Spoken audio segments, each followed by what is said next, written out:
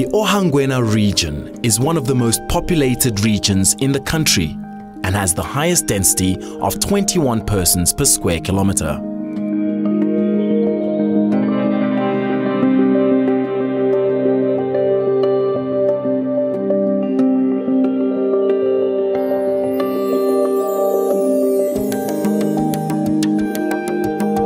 Ohangwena means place of quick grass and refers to the grass that spreads rapidly and covers the surface after the first rain.